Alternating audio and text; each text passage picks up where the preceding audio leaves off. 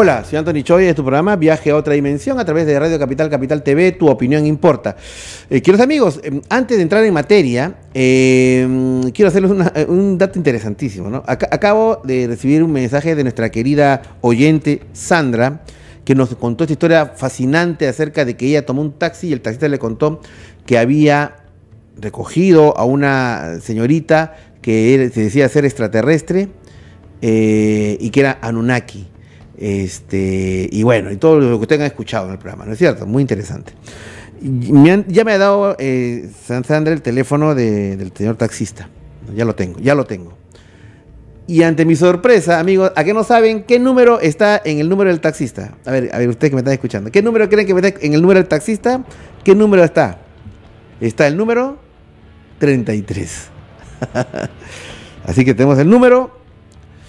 Y bueno, vamos a tratar de llamarlo. Yo creo que vamos a coordinarlo con Sandra para ver cómo podemos hacer, porque dice que solamente recibe llamadas de personas conocidas, y entonces Sandra de repente por ahí, ¿no? Así que vamos a ver cómo la, cómo la coordinamos, pero interesantísimo, ¿no? Bueno, vamos a entrar en materia. El, el tema esta noche es, eh, es eh, el siguiente. Hace unas semanas, una de las joyas de la Europa medieval se incendió, y muchos afirman que sería el anuncio de grandes cambios en la humanidad, el advenimiento del fin de los tiempos. El tema, las profecías de la Catedral de Notre Dame, eh, justamente a propósito del, del infausto incendio que hace algunos días ocurrió y que motivó a que muchas personas empezaran a escribir en internet de que esto era posible, de que fuera parte de profecías que se venían. Y justamente estamos en comunicación con una, una persona que es un destacado investigador ovni y también del tema de los misterios, que tiene un programa en el Cusco eh, y justamente vamos a conversar con él. Eh, Dante Ríos es eh, nuestro invitado esta noche y el cual vamos a en este momento a conversar justamente de este tema y de otro tema también acerca de un avistamiento ovni que ha ocurrido hace muy poco en la ciudad del Cusco. Hola Dante, ¿qué tal? Muy buenas noches. Anthony, ¿cómo estás? Buenas noches y un saludo para toda tu audiencia. Y antes que nada quiero felicitarte por tu programa y por la nueva innovación que se viene la próxima semana. Y te deseo todos los éxitos del mundo, Anthony, eh, con mucho aprecio, con mucho cariño y Ah, con esa simpleza que, que siempre hemos mostrado en nuestra amistad, Anthony. Claro que sí, mi querido amigo. Bueno, Dante, eh, yo escuché una emisión de tu programa, en el, del- el que tú realizas en el Cusco, eh, y eh, hablaste justamente de este tema. Dije, qué interesante, sería bueno eh, traerlo a Viaje a otra dimensión. Y bueno, cuéntame, ¿cómo es ese- esta situación de que muchos afirman que el incendio en la, en la Catedral de Notre Dame, en, en- que yo la conocí justo el año pasado, un viaje a Europa, este, mm, eh, tiene ciertas connotaciones proféticas. Háblanos un poco de ese tema, este, mi querido Dante.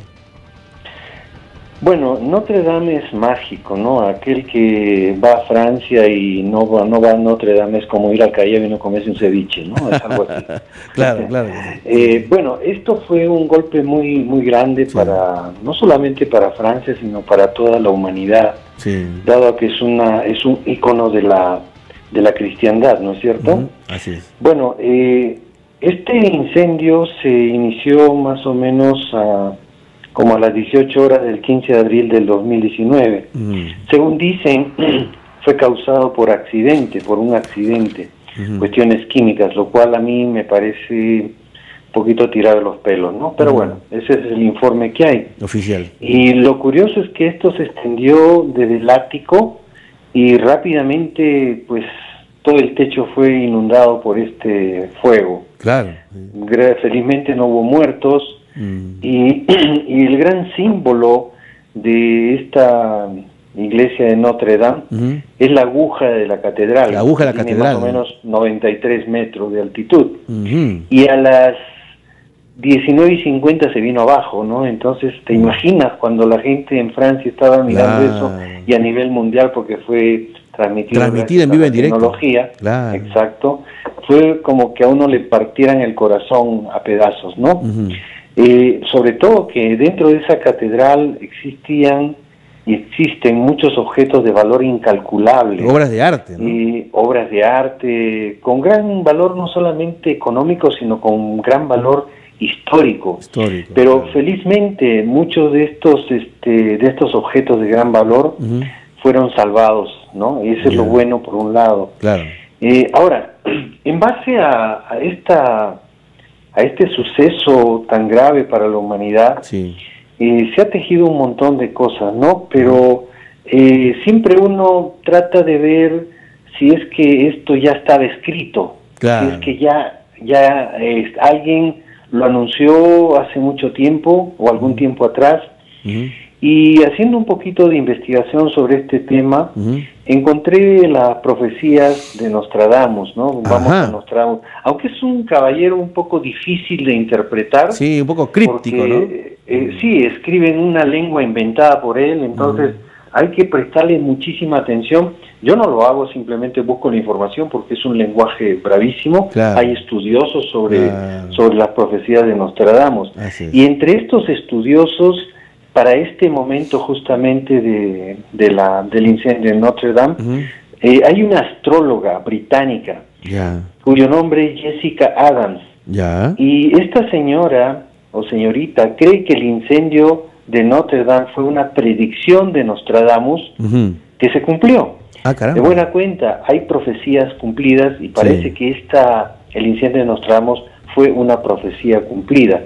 Pero ella, bajo su óptica como astróloga, lo ve de la manera, y yo me, me- me quisiera, eh, quisiera explicar un poquitito cómo Sí. lo enfoca ella bajo el tema astrológico. Adelante, por favor. ¿Te parece? Sí. Bueno, claro que sí. ella cita una predicción eh, que se encuentra obviamente en el libro de las profecías completas de Nostradamus. Ya. Y esta, esta predicción dice lo siguiente, escucha, mira, dice, Sí. el jefe de Aries, Júpiter y Saturno, Dios eterno, ¿qué cambios se pueden esperar? Después de un largo siglo, el mal volverá a Francia e Italia. ¿Qué emociones experimentará? Se refiere a Francia e Italia. Ahora, la astróloga británica Sí. eh, afirma lo siguiente, fíjate, Sí. dice que la colocación de planetas Ajá. y signos del zodíaco en la carta astrológica del 15 de abril del 2019 Ujú. coincide con lo ocurrido ese lunes. Es decir, coincide a pie puntillas, Sí. según su punto de vista, con el incendio de Notre Dame. Mm. Eh, ella explica los detalles de su, de su punto de observación Claro. y, y continúa diciendo, lo que tenemos aquí es Quirón, de hecho, el jefe de Aries, a solo tres grados del signo zodiacal. El sol, que arde de color naranja, mira, el sol que arde de color, color naranja, al atardecer en París, cuando Notre Dame cayó, también está en Aries. En esta carta astrológica establecida para el lunes 15 de abril del 2019, Ujú. a las 17.50, París, Francia. Ok. El impacto del momento lo muestra Urano en dos Tauro, Ujú. haciendo un semisextil casi exacto para Quirón. De hecho, esta es una alineación que solo podría ocurrir una vez cada 80 años. Ajá. La luna está en 3 Virgo, exactamente Quincus Quirón. Ya. Además asegura esta señora de que Nostradamus se refería a la catedral en su profecía que está más allá en la palabra emoción que aparece en la cuarta línea. O sea, como dice, Francia e Italia, ¿qué emoción experimentará? Claro. A eso se refiere esta señora, ¿no? Mientras que parte del nombre del presidente que se traduce del hebreo. Dios con nosotros, Dios con nosotros. aparece en la segunda línea, que Ajá. dice lo siguiente, Sí. Dios eterno, ¿qué cambios se pueden esperar? Y curiosamente a este a esta alusión del Sí. presidente Ajá. eh, que está pues en el segundo renglón con- donde dice Dios eterno qué cambios puede esperar Claro. eh, el presidente Macron dijo una, una expresión dio una expresión bien interesante en el momento de que se estaba incendiando No- Notre Dame Notre Dame. y dijo lo siguiente Macron Notre Dame está envuelta en llamas escucha esta palabra Ah. emoción de toda la nación a eso se refiere esta, esta señora Ajá. la- los pensamientos están con los católicos y todos los franceses. como todos los ciudadanos, me entristece ver que esta parte de nosotros se queme.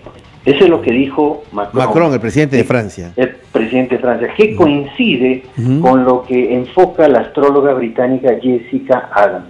Eh, entonces, su punto de vista es astrológico y obviamente con toda la experiencia que tiene ella, porque es una connotada eh, astróloga británica muy buscada, muy de una de una buena categoría y nivel. Ah, eh, ella por eso no es cualquier cosa, por eso la estoy citando, porque esta, esta señora eh, ha enfocado bajo su amplia experiencia como astróloga. O sea que en el, en el en, Nostradamus habría predicho el incendio de Notre Dame, inclusive utilizando palabras en, en, las cuartetas de Nostradamus que luego repetiría el presidente Macron de Francia. Claro, él, él, repite esas palabras y en todo el, desarrollo que, que, esta señora Jessica Adams muestra, lo que acabo de explicar, también enfoca con detalle todo lo que dice el cuarteto de, de Nostradamus en cuanto a la a, la, a lo de Notre Dame. Pero ya te digo, ¿no? Eh, la interpretación que uno le da a los cuartetas de Nostradamus son bien difíciles de interpretar, no son fáciles. Hay, que tener mucho, mucha visión, mucho entender el lenguaje medio escondido que utiliza. No, escondido crítico. Mira, eh, eh, yo te voy a pedir que te quedes un ratito, por favor, con nosotros. Vamos a hacer la pausa de la hora, del bloque y luego estamos contigo porque creo que en otro gran vidente, eh, eh, en este caso del argentino Benjamín Solari Parravicini, también en sus profecías también hablaba del incendio de Notre Dame e inclusive le da una connotación como que es el anuncio de algo. ¿Te parece si hacemos la pausa y me acompañas al próximo bloque, mi querido Dante? Encantado, encantado. Son las 10 y 18 de la noche en todo el Perú. Hacemos la pausa y empezamos con este tema tan interesante de la profecía, la profecía de la Catedral de Notre Dame. Y luego hablaremos, como no, de un avistamiento ovni grabado en video y por nuestro eh, querido amigo que esta noche nos eh, visita eh, virtualmente a, través del teléfono, Dante Ríos desde Calca, Cusco. Ya regresamos. Hola, soy Anthony Choi, este es tu programa, Viaje a otra dimensión a través, se enredó acá el micrófono, a través de Radio Capital, tu opinión importa, estamos conectados hasta el Cusco con Dante Ríos, destacado investigador eh, OVNI, también de misterios, que justamente con estamos hablando acerca de las profecías de la Catedral de Notre Dame. Eh, Dante, ¿estás ahí? Sí, sí, sigo acá, Muy bien. Dante, eh, también creo que el gran vidente, el llamado Nostradamus argentino, Benjamín Solari Parravicini, eh, había hablado, había mencionado también este incendio de Notre Dame, pero en el estilo de él, ¿no? A diferencia de Nostradamus, que mediante cuartetas, mediante escritos, él lo hacía mediante un dibujo, dibujos que él tenía y luego dibujos proféticos y con ciertos eh, mensajes que había debajo del dibujo. Cuéntanos, ¿cómo, cómo, ¿qué pasó con Benjamín Solari Parravicini? Bueno, eh, Benjamín Solari Parravicini, que es, como bien lo acaba de mencionar, un pintor, escultor argentino, que nació en 1898 y murió en 1974 a la edad de 76 años. E, este hombre era de una familia acomodada y ocupó, ocupó, muchos cargos en el Museo de Bellas Artes en Buenos Aires, Argentina. Y era casualmente famoso, se hizo muy famoso por sus mensajes recibidos, decía él, por su ángel guardián sobre futuros eventos. Él profetizó más de 700 eventos mundiales, eh, por ejemplo, la caída de Hitler, de Mussolini, el ascenso de Castro en Cuba, eh, las comunicaciones satelitales, la destrucción de las, de las Torres Gemelas, ah, caramba. Ah, la bomba atómica, el terremoto y tsunami de Japón, etcétera, etcétera, etcétera. Era un tremendo psicógrafo, este Benjamín Solari Paravicini. Bueno, eh, este caballero tiene un dibujo dentro de sus, de sus este, psicografías. Psicografía, él tiene, tiene un dibujo donde muestra claramente eh, cómo, eh, bueno, habla en, síntesis, habla sobre la, el incendio de Notre Dame, habla del río cercano, habla de la ubicación física de, Notre Dame, y está el dibujo eh, eh, hecho ahí eh, de frente, uno puede verlo claramente, donde él hace toda la psicografía de este de este dibujo, claro. ¿no? Eh, ahora, eh, este Solari Paravicini es un dibujo bien escondido, pero hay una investigadora, una señora Viviana Bryson. Ah, ya, claro, Viviana Bryson, la conozco. Ella, ella es la la legataria, la, la, persona que tiene pues los rollos, eh, los dibujos de Javier Solari Paravicini, claro. Viviana Bryson, la conozco, claro. Esta señora Bryson guarda cientos de las figuras proféticas de este Ella es depositaria, ¿no? Depositaria. Depositaria, exactamente. Y, y, afirma, ella afirma, porque los tiene a la mano, y tiene como chequear cada evento que va sucediendo para comprobar lo, lo que Solari Paravicini dejó en sus psicografías. E, ella afirma que eh, Paravicini dejó escrito y predijo el incendio de la Catedral de París. Ahora, en un dibujo, fíjate usted, fíjate, Anthony, en un dibujo de 1938, sí. escribió lo siguiente para Vicini, París será destruido por un gran incendio. Ahora, este dibujo parece mostrar el muestra, muestra pues el río Sena, claro. incluido la pequeña iglesia de la Cité, en la que se encuentra casualmente en Notre Dame, con la palabra París. Ahí está escrito París, escrita a su alrededor. Claro. La letra R, según eh, según la, esta señora investigadora, la señora Bryson, dice que la letra R está ligeramente separada de las otras. Ya. Lo que París. Lo que para esta señora Viviana tiene un significado profético. Eh, ella argumenta que la letra R significa reliquias. Que sería la corona de espinas que, que le pusieran a Cristo, un fragmento de la madera de la cruz de Cristo, eh, los clavos de, de, la, de la misma donde fue clavado, crucificado Cristo, y que, que forma todo esto, parte del, de, los tesoros de Notre Dame. Claro. Y son reliquias. Entonces, y dice que París está abierta, la, la letra R está separada porque habla de reliquias, claro. ¿no? Eh, por eso que ella le da, pues, este, le da una acentuación a este dibujo de Solari Parravicini, que te lo envié para que lo veas, ya, lo que te estoy hablando. Entonces, es una perfección lo que Solari Parravicini dice y, que se ha dado por hecho eh, con el incendio de Notre Dame. Además, para mí, eh, soy, te soy muy honesto, eh, con todo el respeto que se merecen los creyentes eh, en Nostradamus, para mí Solari para la fuera de serie, porque Nostradamus te habla en un lenguaje diferente, en un idioma que no existe. Así es. Y tienes todo escondido, con unas metáforas que tú tienes que adivinárselas. En cambio, Solari para Vicini, para mí es extraordinario, es un psicógrafo, un medio, un psicógrafo tremendo, que eh, él, te dibuja y te dice los detalles así a qué puntillas. Entonces, es de, yo, y pueden cualquiera de los de los oyentes pueden chequear los, los dibujos de Solari Parravicini, por ejemplo, lo, de las Torres Gemelas es clarísimo, eh, el tsunami y, el, terremoto de Japón es clarísimo, y este, este incendio de Notre Dame también te lo pone, pero muy, muy, clarísimo, ¿no? Muy bien. Ahora, eh, Ahora inclusive, perdóname, en, esta en esta psicografía de Parravicini se puede ver la forma de la aguja de la catedral justo en el momento en que estaba a punto de colapsar. Punto de colapsar, alucinante, ¿no? eh, Solari Parravicini. Yo conozco ya a Bryson, coincidimos en un congreso en Capilla del Monte, en Córdoba, Argentina, un saludo para Diana Bryson, que seguramente está escuchando el programa.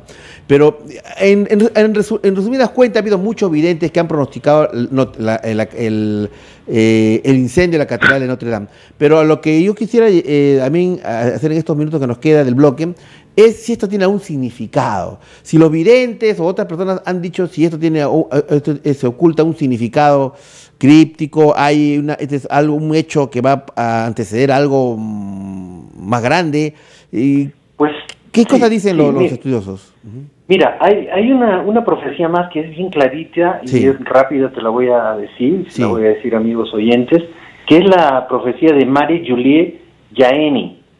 Esta es una gran estigmatizada bretona ya. que, bueno, nació como en los 1850 en Francia. Okay. Eh, él tenía, esta señora tenía el don de la profecía. Okay. Y, era de la visionaria de los últimos tiempos y siempre hablaba de la venida del anticristo. El anticristo. Eso es lo que ella hablaba. Okay. Eh, y antes de su muerte, mira esto, antes de su muerte, esta señora Mari dijo que Francia será el punto de partida de los castigos mundiales ya que esta mm. nación fue católica ante otras naciones y recibió más gracia que otros países. Mm. Francia le, le, ha encomendado la misión de defender la iglesia y la verdadera fe. Debido a sus fracasos, escuchen esta parte sí es interesante, debido a sus fracasos y al rechazo de su monarquía vencida por el cielo, primero será golpeada, pero luego los castigos se extenderían por el mundo. Entonces, esta, esta señora habla claramente de que probablemente el punto de partida de la caída de Notre Dame sea un principio de los fines. Entonces, puede ser que se venga algo muy eh, extremadamente peligroso, o catastrófico para Francia o para Italia o para Europa. y, y, esta fecha del 15 de, abril es una fecha, parece media, media convulsiva, porque el 15 de abril de 1865, por ejemplo, Abraham Lincoln fue asesinado eh, y murió, bueno, fue asesinado, le dispararon el 14, pero murió el 15. Y el 14 de abril del 1912, el Titanic chocó con un iceberg ah, y se hundió el 15. Claro, 15 de abril. En, un partido de, entre el Nottingham y el Liverpool en Norteamérica, eh, terminó pues en una tragedia tremenda donde murieron 96 personas y fue el 15 de abril de 1989. También. Y el 15 de abril fue este incendio, ¿no es cierto? Sí, el mismo día. Entonces hay cosas muy coincidentes que sucedieron y han sucedido antaño esos días. Por estas razones yo pienso que hay señales que pienso que, que nos encontramos en unos momentos muy difíciles de nuestra existencia como, como seres humanos, como, seres, como civilización, ¿no? Claro, claro que sí. Bueno, vamos a hacer una, segunda pausa, mi estimado eh, Dante, y me gustaría que esta vez, ya más o menos hemos escuchado tan interesante conversación sobre el tema de la licencia de Notre Dame, pero que en esta segunda, por, si nos puedes hacer el favor, en el próximo bloque, de contarnos eh, hay un evento OVNI que ha sido grabado en video, creo que tú tienes ahí un material que nos has enviado, acerca de, en la zona de Calca, hay, una, hay un cerro que se llama, ¿cómo se llama, Dante? la montaña del Calvario. La montaña del Calvario, en donde se dan fenómenos muy, muy interesantes, y creo que tú lo has oh, investigado, y tenemos, tenemos toda la información. Ya, entonces, acompáñanos por favor al próximo bloque y seguimos hablando acerca de este avistamiento ovni, el tema de la montaña del Calvario y todo esto en el Cusco. ¿Ok? Listo, ya regresamos.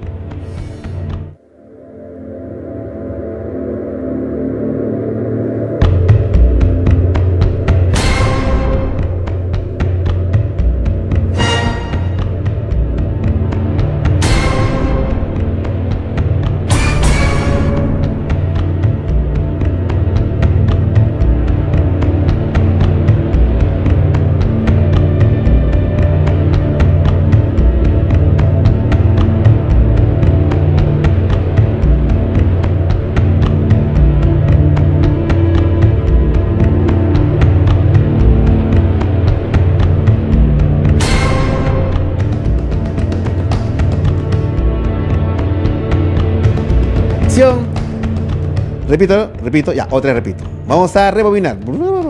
Hola, soy Anthony Cho, este programa Viaje a otra dimensión a través de Radio Capital Capital TV. Tu opinión importa. Estamos con Dante Ríos hasta el Cusco, en donde hemos estado hablando acerca de esta profesión tan interesante de la Catedral de Notre Dame.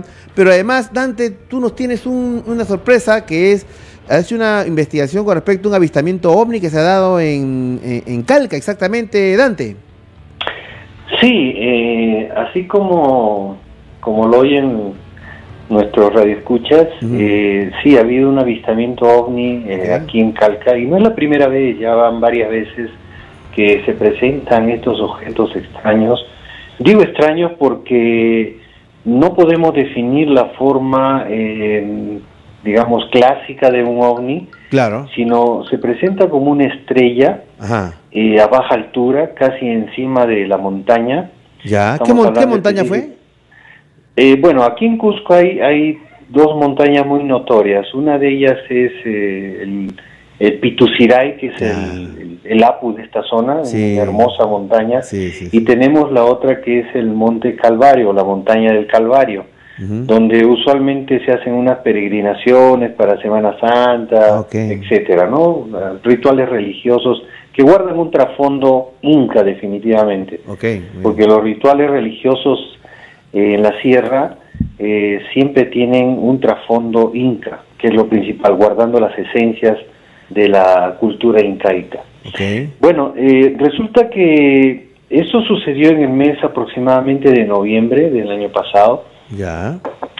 Y mm, me, llamó por teléfono eh, un amigo mío que, que es Abelardo Caparó, me dijo que cuando yo hice el video y lo subí a mi programa Zona X, Puerta a lo Desconocido, eh, le pedí autorización para tomar su nombre y el nombre de su familia, dado a que ellos fueron los que lo filmaron, yo no ah, lo filmé.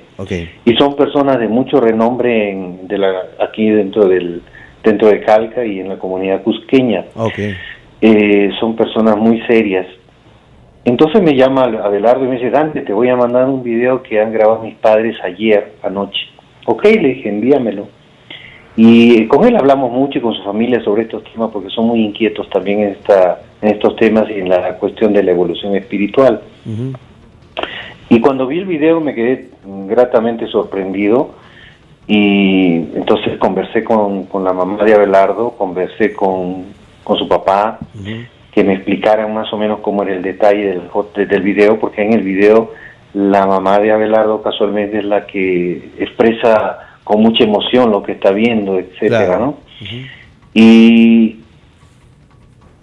lo que hice yo fue eh, una investigación y tratar de mostrarle al público, a, los televidentes, eh, dónde había sido el, lugar de día, porque esto fue tomado de noche, eh, cuál era la, distancia aproximada entre la posición de esta familia y la montaña donde vieron el, el ovni que apareció.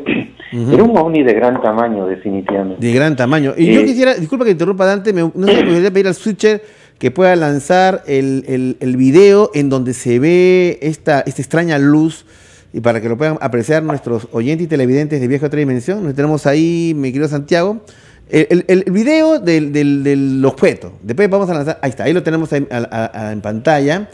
Eh, Dante, lo que quiero preguntarte es, eh, en este, esto, este objeto que fue grabado en noviembre por la familia que tú me cuentas de Calca, Cusco, eh, mm, ¿Vieron si el objeto, una pregunta muy, si te, habrá recabado e, e, ese detalle de la información, ¿vieron si el objeto se movía, se trasladaba o se movía de arriba abajo, de izquierda a derecha, o hacía un movimiento aberrante o estaba totalmente fijo en el cielo, mi estimado Dante? Ya, según los, los comentarios que me hicieron ellos, era un objeto que estaba fijo. Ya.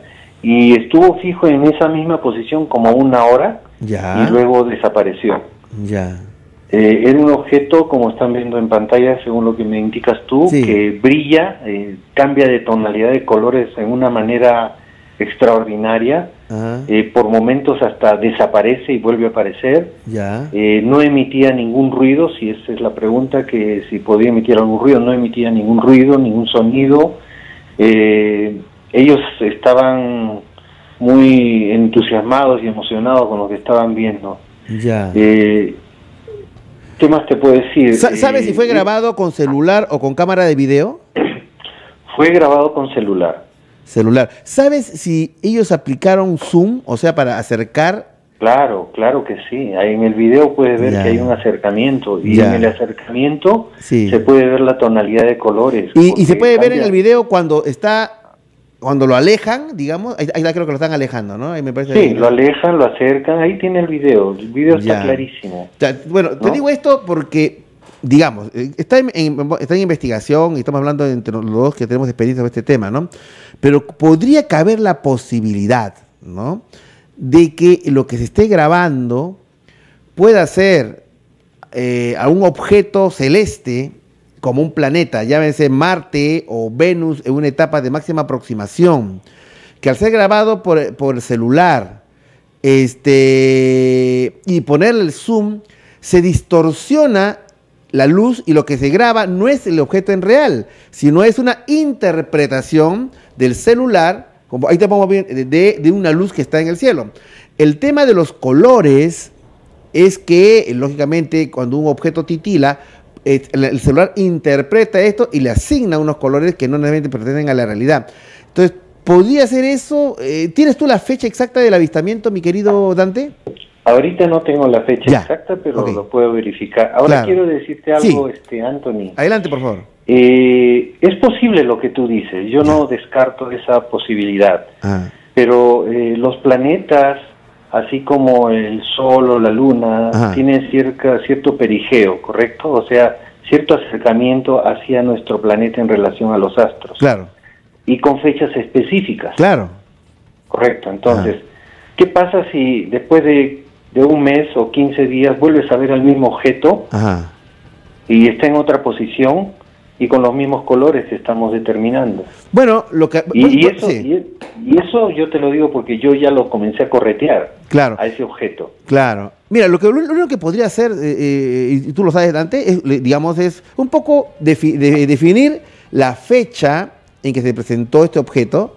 Por decir, no, se me ocurre, 15 eh, de febrero del 2019, ya.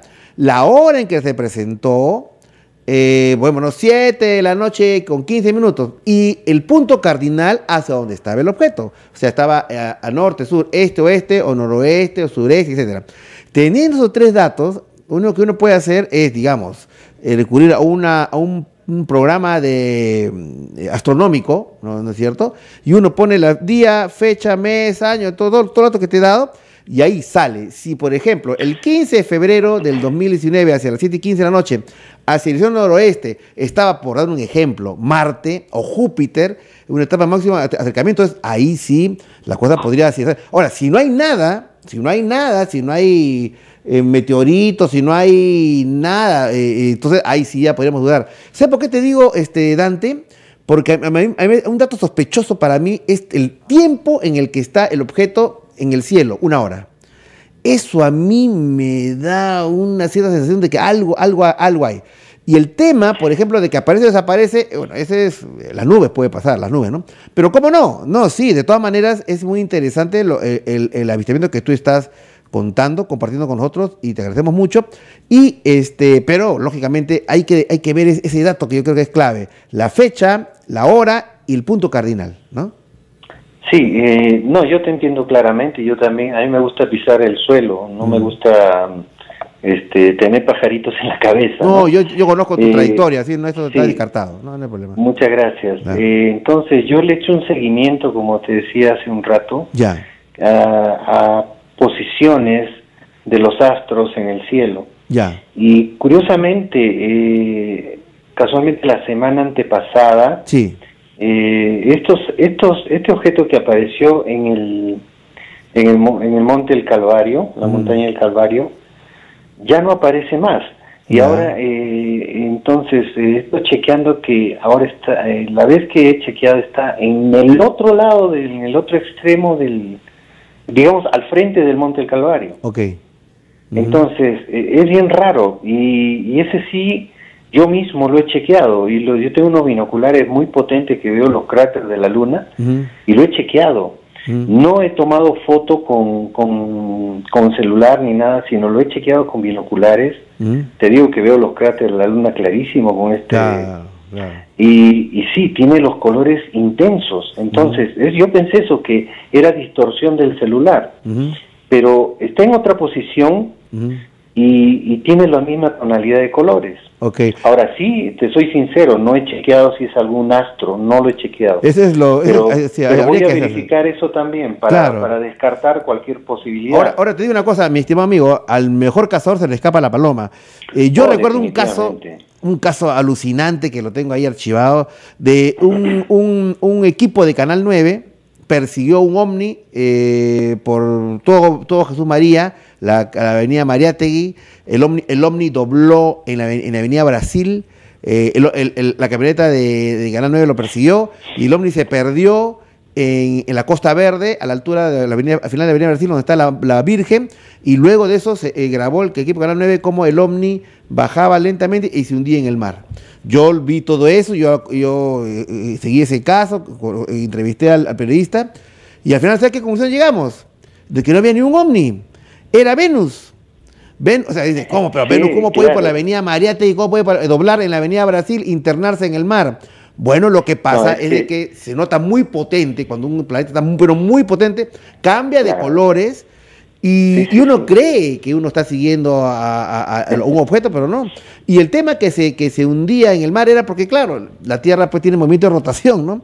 Entonces este, todos los gatos van, avanzan desde, desde el cenit, ¿no? Y van avanzando, avanzando, recorren toda la bóveda celeste y no es que se hunden en el mar, sino se pierden en el horizonte. ¿dónde se pierden en el horizonte. ¿no? Pero bueno, es, lo que, es, es, lo que pasa con, con, la luna, cuando está en su perigeo, se ve 30% más grande, ¿no? Y parece que lo tuvieras aquí en la cabeza. Sí, sí, pero yo recuerdo, no, varias investigaciones tuyas muy interesantes que han aportado mucho a la ufología nacional y bueno, simplemente una opinión, y tú sabes que estos debates que hacemos entre ufólogos siempre son buenos y, nuestro público siempre se, nutre de, tener esta visión con respecto a estas investigaciones OVNI.